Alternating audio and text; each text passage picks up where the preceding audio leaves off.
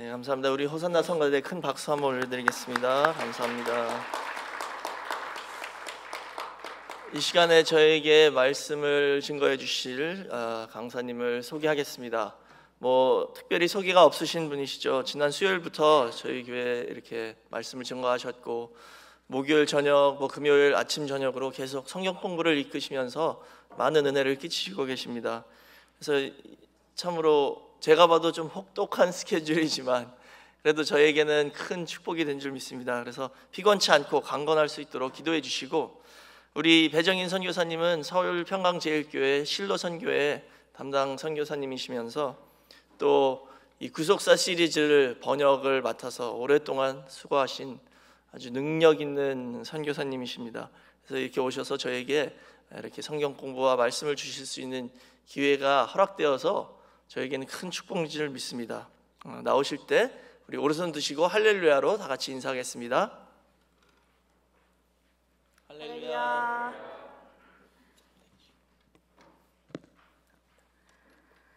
네, 코로나 시기라서 정말 사랑하는 사람, 보고픈 사람 만나기가 너무나 힘든 시간인데도요.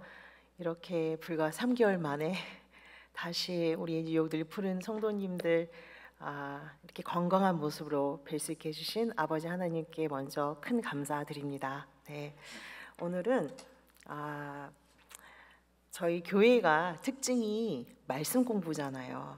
예. 근데 저희가 이 수많은 성경 공부와 말씀 공부를 막 굉장히 열심히 많이 해왔는데 어, 과연 우리가 이런 말씀 공부를 하고 또 이 말씀 성경을 이렇게 공부한다고 할 때에 말씀을 주시는 하나님 아버지와 우리의 마음이 핀트가 잘 맞고 있나 그런 생각을 하게 되었어요. 그래서 오늘 예, 말씀의 제목은 아까 목사님께서 본문 말씀 읽어주셨는데요. 예, 마태복음 13장 1절부터 9절의 비유죠. 예, 씨 뿌리는 비유를 들으라. 그 예수님께서 명령하신 말씀이에요. 네. 여기 밑에 보시면 이 공관복음에도 같은 비유지만 조금씩 다르게 설명된 예, 부분들이 있어서 같이 기록을 했어요. 저희가 다 너무나 잘 알고 있는 비유지만 이 공관복음 마태, 마가, 누가가 예, 같은 비유지만 어떤 각도로 보았는가를 저희가 살펴볼 때에 거기서 예수님께서 저에게 전달하고자 하시는 그 간절한 소원이 더 풍성하게 나타나기 때문에 오늘은 요 세 부분을 왔다 갔다 하면서 같이 살펴보도록 하겠습니다. 자, 씨 뿌리는 비유의 가장 중요한 것은 무엇일까요? 씨예요. 씨. 근데 씨는요 여기 이 그림에 보시지만 이대로 있으면 안 돼요. 씨는 반드시 변화의 과정을 거쳐야지만 그 본래의 목적을 달성할 수 있는 거죠. 그렇죠? 예, 어떤 과정을 거쳐야 합니까? 씨는 먼저 땅에 심을 하고 있는 거예요. 땅에 심겨져서 이제는 더 이상 눈에 보이지 않죠. 땅에 심겨진다는 것을 어떻게 표현해 보면 매장하는 거라고도 볼 수도 있겠죠. 그렇죠? 죽고 사라져서 없어지는 것 같지만 보이지 않는 곳에서 시간을 거쳐 예, 뿌리를 내리고 다시 이 땅을 뚫고 올라와서 태어나는 것이 바로 씨의 역할이에요. 저희 만물이 가르쳐주는 씨의 모습이죠. 이렇게 변형된 새로운 모습으로 씨는 반드시 자라고 열매를 맺는 과정이 있어야 하는 겁니다. 그런데 오늘 예수님께서는 씨 뿌리는 자의 비유를 들으라 하고 명령을 하고 계세요. 반드시 이 씨는 열매를 맺는 과정까지 가야 하는데 그럼 예수님이 말씀하는 이 씨는 무엇을 말씀하고 있는 걸까요? 네, 잘 아시는 것처럼 누가복음 8장 11절 말씀에서도 바로 이 씨는 하나님의 말씀이다라고 말씀하고 있습니다. 예, 바로 저희가 이렇게 공부하고 예, 사랑하는 읽는 이 성경이 하나님의 씨인 거예요. 자, 그런데 저희가 조금 더 정확하게 씨가 무엇인가를 본다고 하면은요. 요한복음 1장을 빼놓고 볼 수가 없죠. 이 씨는 하나님의 말씀 우리가 맨날 듣는 성경 말씀뿐만이 아니라 원래 본래의 씨는 예, 태초의 말씀이신 요한복음 1장 1절에 태초의 말씀이 하나님이신데 태초의 말씀이신 하나님이 우리를 위해서 육신이 되어 우리 가운데 거하심에 그 영광을 보니 아버지의 독생자의 영광이요 은혜와 진리가 충만하더라. 그 말씀이 씨인데 이 씨도 육신이 되어서 우리 눈에 보이는 첫 열매가 되었죠. 예. 예수님의 성육신을 나타내고 있습니다. 말씀이 육신이 된 하나님의 첫 열매이신 예수 그리스도께서는 또다시 그 말씀의 씨를 우리에게 전하고 싶으신 거예요. 예. 그런데 예수님께서 얼마나 우리 안에 거하기 원하시는지 성경에서는요 너무나 많은 구절이 그 간절한 마음을 표현해주고 계신데요. 그 중에 한 구절이 바로 성경의 맨 끝 요한 계시록에 가서도 지금도 이 시간에도 이 자리에 계셔서 우리들의 마음을 들어 두드리고 계신다. 어떻게 하시려고요? 우리 안에 들어오고 싶으셔서 우리와 함께 동고동락하고 싶으셔서 예, 요한계시록 3장 20절 말씀이죠. 저희 같이 함께 읽어보실게요. 네, 시작. 볼지어다 내가 문 밖에 서서 두드리노니 누구든지 내 음성을 듣고 문을 열면 내가 그에게로 들어가 그로 더불어 먹고 그는 나로 더불어 먹으리라. 이것이 오늘 우리를 이 예배의 장면으로 불러주신 하나님 아버지의 간절하신 마음입니다. 그러면 이 말씀, 이 씨는 과연 어디에 심기는 걸까요? 물론 보이는 땅을 말하는 것이 아니죠. 그죠? 이 말씀 씨는 어디에 심겨야 할까요? 네, 오늘 이 내용을 상고하고자 합니다. 어딜까요? 네, 우리 마음이죠. 우리 마음. 이 씨 뿌리는 비유에선 지금 예수님이 우리 마음, 신령한 땅이죠. 우리의 마음에 말씀을 심으시려고 지금 이 자리에 계셔요. 우리에게 얼마나 간절한 마음으로 이 씨를 우리 각자 마음에 심기를 원하시는지 그 저희가 느낄 수가 있습니다. 그런데 이 말씀을 주시려고 딱 이 자리에 서셨는데 하나님께서는 우리들의 심장과 폐를 다 꿰뚫어 보시죠. 그러니까 말씀을 주시면서 딱 쓰셨는데 우리들의 마음을 하나하나 다 들여다보고 계신 거예요. 과연 내가 이 씨를 이 성도 마음에 심으면 어떻게 될까? 잠언서 24장 12절에 우리의 마음을 깊이 들여다보시는 하나님에 대한 소개를 하고 있습니다. 잠언서 24장 12절에는 네가 말하기를 나는 그것을 알지 못하였노라 할지라도 하나님이 하나님은 몰라요라고 말하셨다라는 거죠. 하지만 마음을 저울질 하시는 이가 어찌 통찰하지 못하시겠으며 내 영혼을 지키시는 이가 어찌 알지 못하시겠느냐. 그가 각 사람 행위대로 보응하신다라는 말씀이 있습니다. 즉 예수님이 우리 마음속으로 들어오셔서 함께 거하기를 너무나 간절히 소원하시는데 예, 그런 간절하신 마음을 오늘 예배를 통해서 저희도 조금이라도 헤아릴 수 있는 은혜가 내려주시기를 간절히 소원합니다. 더 나아가서 우리 앞에 지금 서 계신 주님은 우리에게 너무나 여러 가지의 종류의 다양한 마음이 있음을 아시고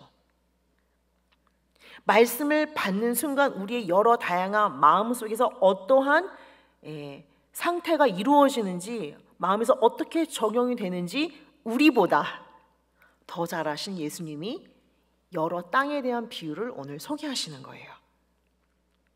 아주 정확하게 짚어주고 계십니다. 씨 뿌리는 자의 비유가 바로 이것을 말씀해 주고 계시죠. 첫 번째는 길가예요. 자, 우리 실명 상태가 있는데 어떠한 마음을 가진 사람이 있냐면요. 길가 같은 마음을 가진 사람이 있다라고 말씀하세요. 길가는 사람들이 걸어 다니는 곳이잖아요. 그죠? 그러니까 사람들이 많이 걸어 다니는 곳의 특징은 어떨까요? 단단해요. 하도 많이 걸어 다녔기 때문에. 네. 즉 마음이 단단해요. 그래서 예수님께서 누가복음 8장 5절 7절에서는 예, 이 비유를 이렇게 말씀하시죠. 씨 뿌리는 자가 그 씨를 뿌리러 나가서 뿌릴새 덜어는 길가에 떨어짐에 밟히며 걸어 다니니까 그죠? 밟히며 공중의 새들이 먹어버렸다라고 비유를 말씀하시는데요. 이 내용을 다시 비유를 설명해 주십니다. 이번에는 마태복음 13장 19절 말씀을 저희가 보겠는데요. 예, 그 같은 비유를 이제 풀어 주시는데 뭐라고 하시냐면요. 아무나 천국 말씀을 듣고 말씀을 안 듣는 사람이 아니에요. 말씀을 들어요. 그것도 천국 말씀이에요. 천국에 관한 말씀을 듣고 깨닫지 못할 때, 자, 그 단단한 길가의 마음은 천국 말씀 들었는데 깨닫지 못할 때, 그것을 악한 자가 와서 마음에 뿌린 걸 다시 빼앗아 간대요. 이는 곧 길가에 뿌리는 자요. 마음에 뿌리는 것을 빼앗기는 일도 있다라는 것을 예수님께서는 저에게 경고해 주시는 거예요. 그러니까 저희는 우리 특히 말씀교회의 특징은 말씀 공부, 말씀 공부 열심히 하고 더, 더 알려주세요. 우리 더 공부하게 해주세요. 이렇게 하시지만 말씀을 듣는다고 그게 끝이 아닌 거예요. 그리고 예, 깨닫지 못한다라는 표현을 여기 쓰셨어요. 깨닫지 못한다. 여기서 깨닫지 못한다라는 하나님의 정의는 우리가 가지고 있는 깨달음과는 다르다라는 것을 저희가 나중에 다른 어, 다른 마음 밭을 보면서 상고하실 텐데요. 예. 제일 먼저 저희들이 주목해야 될 것은 깨닫지 못하는 마음은 아, 뭔가 이렇게 이성적으로 못 깨달았다라는 것보다 깨닫지 못한다라는 것은 빼앗기는 것이에요. 예, 빼앗기는 것. 그런데 자 다시 누가복음으로 돌아가면 이 결과가 굉장히 심각하다는 걸 알 수가 있습니다. 예, 누가복음 8장 12절 말씀에는 길가에 있다는 것은 말씀을 들은 자인데 이에 마귀가 와서 그들로 믿어서 구원을 얻지 못하게 하려고 말씀을 그 마음에서 빼앗는 일이 있으니까 경고를 하시는 겁니다. 네. 믿지 못하게 하려고 구원을 얻지 못하게 하려 하는 원수가 분명히 우리 주위를 서성이 고 있다는 사실을 절대로 저희는 간과를 해서는 안 되겠습니다. 네. 자 그러면 두 번째 예, 땅의 종류를 가보실 텐데요. 두 번째는 예, 이렇게 돌밭입니다. 땅은 땅인데 돌이 쫙 깔려 있어요. 자 이런 땅을 뭐라고 하시냐면요. 마태복음 13장 5절 6절로 다시 돌아가서 아까 읽으신 본문 말씀이신데요. 예, 덜어는 흙이 얇은 돌밭에 떨어짐에 흙이 깊지 아니하므로 자 흙이 깊은 상태를 두 번이나 강조를 하시죠. 얇은 흙이 얇은 돌밭에 흙이 깊지 아니하므로 곧 바로 싹이 나오긴 한대요. 그런데 해가 돋은 후에 타서 뿌리가 없으므로 말라버린다. 그러니까 결실을 못하겠죠, 그죠? 예. 싹이 나오긴 하는데 뿌리가 없기 때문에 사라지고 마는 그 씨. 자, 근데 여기서 저희가 또 주목해야 될 부분은 이거예요. 해가 돋은 후에 해는 어쩌다 한 번 돋는 게 아니죠. 해는 항상 돋아요. 그죠? 그렇기 때문에 우리가 말씀을 받을 때 이 과정은 반드시 있다 없다예요? 반드시 있다라는 거예요. 해는 항상 돋기 때문에. 자, 그럼 해가 무엇일까요? 예, 그 나중에 비유를 풀어주시는 말씀에 이렇게 설명해 주세요. 돌밭에 뿌리었다라는 것은 말씀을 듣고 즉시 엄청나게 기쁨으로 받아요. 그러나 그 속에 뿌리가 없어서 견디기는 견디는데 얼마만큼요? 잠시 견디다가 말씀 때문에 일어나는 여러 해프닝이 생기는 거예요.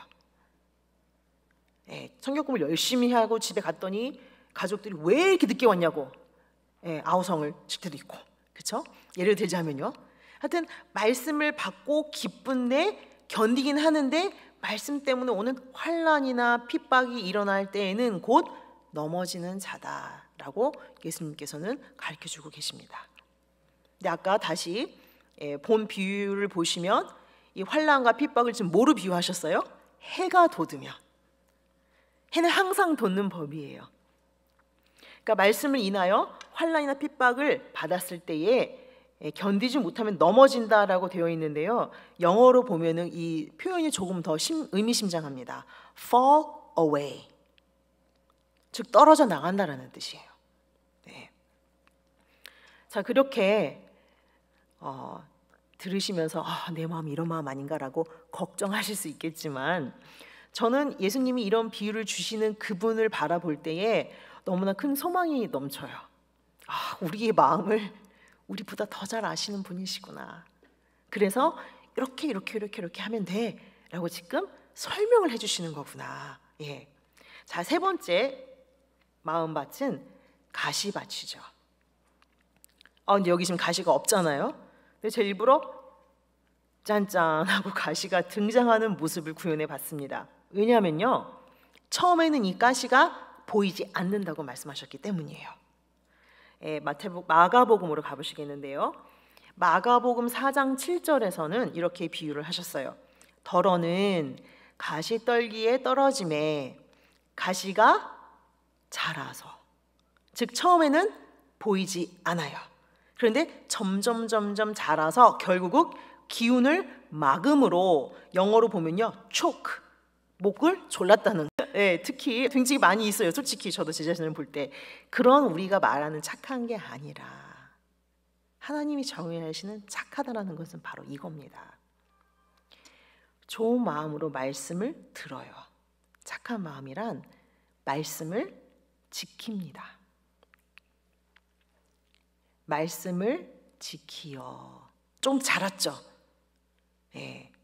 사단이 와서 나의 육신의 생각이 또 나의 사는 환경이 내가 받은 말씀이 아니라고 계속 옆에서 한다고 하더라도 그것을 끝까지 붙잡고 있는 거예요. 네. 지키어. 그 다음에 더 시간이 가면서 중요한 것은 인내로 결실하는 자다. 인내로 결실. 열매를 맺기까지. 말씀을 붙잡고 끝까지 가야 되는 거예요.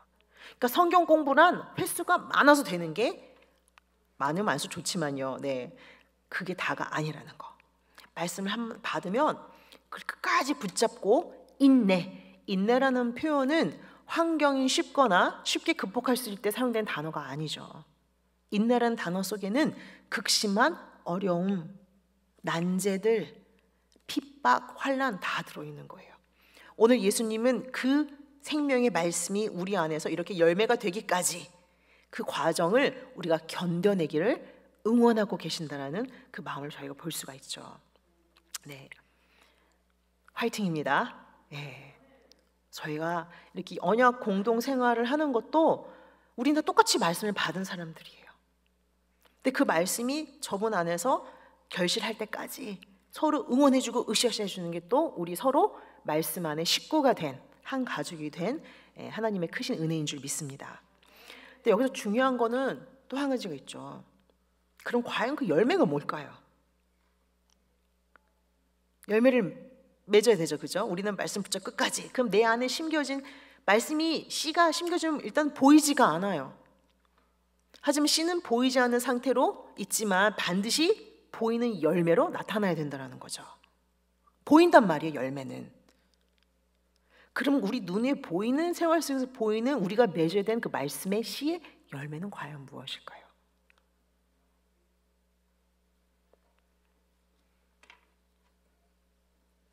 뭘까요? 네. 되게 어떻게 보면 당연한 건데요. 저는 되게 놀랐어요. 보이지 않는 씨가 보이는 열매로 나타나는 우리 삶 속에서 열매란 다름이 아닌 우리 말입니다. 한국 속담에도 씨가 네, 말이 된다. 그죠? 그리고 정말 이루어진다라는 그렇게 예, 말씀이 되죠. 아니 말이 씨가 된다. 죄송합니다. 예, 말이 씨가 된다라는 표현이죠. 예. 사람의 말도 그런데 그죠? 하나님의 살아계신 말씀이 우리 마음 속에 심겨질 때 네. 성경 구절을 확인해 보도록 할게요. 잠언서 18장 20절에서는요. 사람은 입에서 나오는 열매로 하여 배가 부른대요. 네, 저 입에서 나오는 열매. 곧 그 입술에서 나는 것으로 하여 만족해 된대요. 그러니까 저희가 서로에게 또 어떠한 상황에 대해서 얘기할 때에 어떤 말을 하느냐가 너무너무 중요한 거예요. 그 말로 인해 저희 영혼이 배가 부를 수도 있고 그의 말로 인해 완전히 패패해질 수도 있고. 부모님이 자녀를 볼때 예, 원로목생이 절대로 막 좀 험한 말 하지 말라고 너 때문에 뭐 어 너 때문에 내 인생은 망했어. 그런 말 우리 할 때가 많잖아요 그죠? 그런 말. 자녀뿐만이 아니라 어느 누구에게도 네게티브한 말을 하면 안 되는 거죠. 그 입술에 나오는 것으로 만족해 되는 삶이 있다라는 것을 분명히 짚어주고 계세요. 예수님도 직접 말씀을 하셨죠. 누가복음 6장 43절부터 45절을 보시면 예, 못된 열매 맺는 좋은 나무가 없대요. 모든 나무는 그 열매로 안다는 거죠. 또 좋은 열매 맺는 못된 나무가 없느니라. 나무는 각각 그 열매로 아나니 가시나무에서 무화과를 또는 찔레에서 포도를 따지 못하느니라. 그러니까 우리의 입술에 나오는 말로 내가 좋은 나무인지 아닌 나무인지 알 수 있다라는 겁니다. 더 이렇게 정확하게 말씀하시죠. 선한 사람은 마음에 쌓은 선에서 선을 내고 악한 자는 그 쌓은 악에서 악을 내나니 이는 마음에 가득한 것을 우리의 입으로 말함이라. 예. 자, 그래서 하나님은 우리의 말대로 예, 들으시고 그대로 해주신다라는 말씀이 구약 시대에 이스라엘 백성들이 광야 여정을 통해서도 직접 체험을 했잖아요, 그죠? 그래서 하나님은 우리 입술의 열매를 짓는 분이세요. 이사야 57장 19절 말씀에 입술의 열매를 짓는 나 여호와가 말하노라. 그러면 입술의 열매는 저희가 잘 아시는 것처럼 우리 안에 마, 말씀이 들어가면 들어갈수록 말씀은 예수 그리스도께 주시는 영이고 생명이기 때문에 예, 그 영이 충만해지면 질수록 우리 입술에 나오는 것이 성령 열매로 나타나야 된다는 거죠. 그리고 그게 말이에요. 말. 갈라디아서 5장 22절부터 23절 말씀을 보시면요.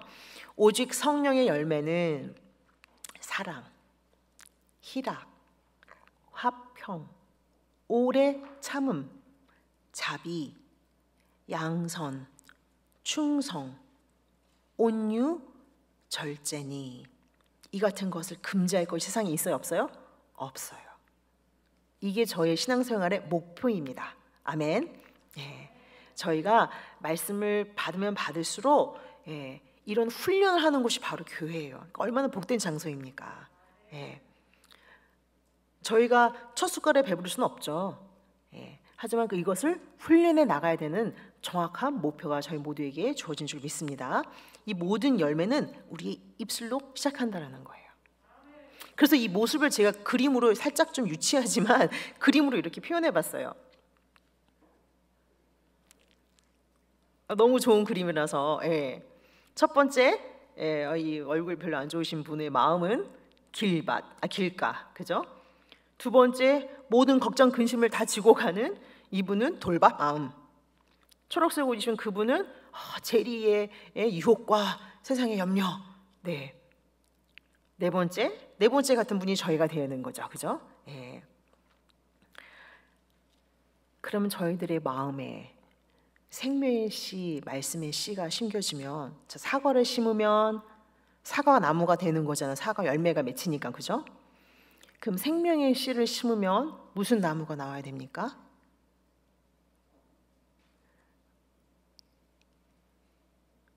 어, 생명나무죠. 그쵸? 너무 정확해요. 예수님이 말씀하시는 천국 복음은 멀리 우리가 들어갈 수 없는 사람이 이루기 불가능한 것을 말씀하시는 게 아닙니다. 우리들 입술의 열매로부터 시작이 되는 거예요. 잠언서 11장 30절 말씀에 의인의 열매가 생명나무다라고 말씀하고 계세요. 의라는 표현은 하나님과 내가 더 이상 원수가 아니라 올바른 관계에 있다는 뜻이거든요. 네. 즉 그런데 너무 감사한 것은 내가 아무리 죄인일지라도 지금 예수님께서는 이 자리에서 우리의 마음의 문을 두드리고 계시다라는 거. 즉 우리가 아직 죄인이지만 주님 우리를 의인으로 이미 칭의하여 주셔서 이 자리에 다 있으신 줄 믿습니다. 네. 의인의 열매는 생명나무예요. 다른 잠언에서는요 이걸 더 정확하게 우리의 입술의 열매라고도 말씀하고 계십니다. 잠언서 15장 4절 말씀. 올량한 혀는 곧 생명나무라도 패려한 혀는 마음을 상하게 하느니라. 네. 지금 주님이 저희를 얼마만큼 얼마만큼 높이 이끌어 주시는지 느낌이 오시죠? 네. 자, 그래서 요한 계시록 예, 종말을 말하고 있는 요한 계시록에서도 이 생명나무가 많이 있다라고 말씀하고 계시고요. 또 저희가 예, 생명나무가 되어서 우리가 맺는 열매는 생명 열매. 근데 이 열매가 저희 이번 2022년도 표와도 같지만 열방에 열국에 만국을 소성하는 엄청난 능력이 주어지는 것이라는 걸 알 수가 있죠. 요한계시록 2장 7절 말씀 제가 같이 한번 읽어보실까요? 예. 시작. 귀 있는 자는 성령이 교회들에게 하시는 말씀을 들을지어다. 이기는 그에게는 내가 하나님의 낙원에 있는 생명나무의 과실을 주어 먹게 하리라. 예, 저희는 아 내가 신앙생활을 이겨가지고 그럼 하나님의 생명나무의 과실 날 따주겠지라고 예, 그 생각을 할 수 있지만 엄연히 성경을 성경 그대로 본다고 하면 그 열매는 어디서 나오는 거예요? 우리에게서 나오는 거예요. 네. 그래서 22장 2절 말씀. 길 가운데로 네, 생명 강이 흐르는데 강 좌우에 생명나무가 있어 열매를 맺죠.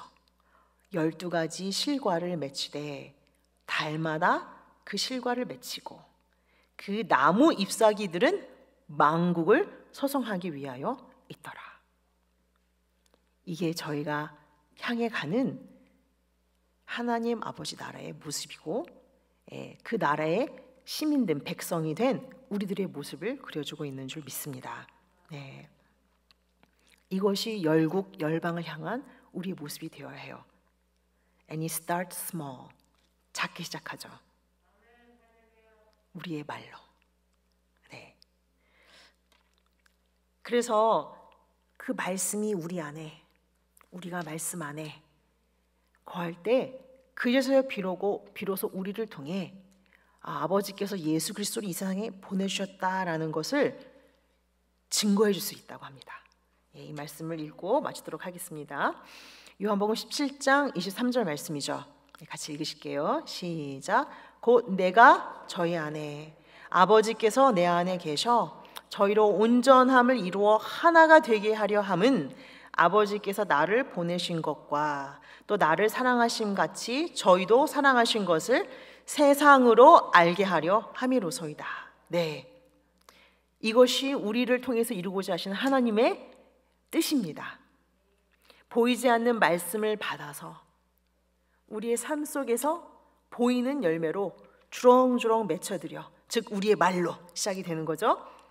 우리의 모든 말들이 즉 성령의 열매가 되어서 예수님이 우리 안에 우리가 예수님 안에 동고동락하면서 이 세상에 예수 그리스도와 우리 아버지 하나님의 증인으로 크게 쓰임 받으시는 늘푸른 교회 모든 성도님들 되시길 주님의 이름으로 기원합니다. 아멘. 기도하시겠습니다. 오늘도 저희들에게 귀한 생명과 영의 말씀의 씨를 심어주고자 예배로 친히 불러주신 우리 아버지 하나님, 오늘도 귀한 복된 일곱째 날 이렇게 말씀을 통하여서 아버지께서 얼마나 저희와 함께 거하길 원하시는지 우리 마음속에 자정하여 주시고 또 우리가 어, 어려운 환경이 온다 할지라도 그 시간을 잘 견뎌내서 주신 말씀의 열매를 주렁주렁 맺혀드리길 원하시는 마음으로 오늘도 우리를 위로하여 주시고 응원하여 주시고 동요해 주신 우리 아버지 은혜에 너무나도 감사드리옵나이다.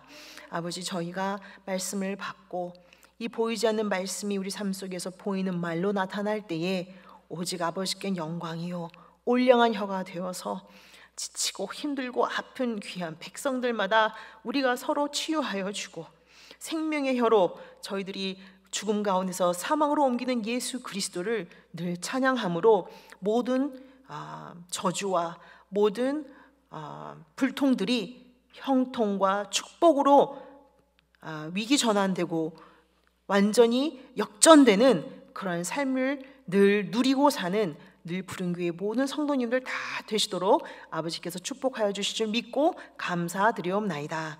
오늘도 이 말씀을 저희들의 마음에 가지고 나갈 때에 예수 그리스도께서 말씀해 주신 여러 가지 종류의 땅을 기억하면서 오직 좋은 땅, 착한 땅이 되게 해달라고 기도로 매진할 때에 그 기도 응답을 이루어 주시는 하나님을 늘 체험하며 사는 저희들이 될 수 있도록 축복하여 주시옵소서. 감사드리며 우리 주 예수 그리스도의 존귀하신 이름에 의지하여 기도드리옵나이다. 아멘.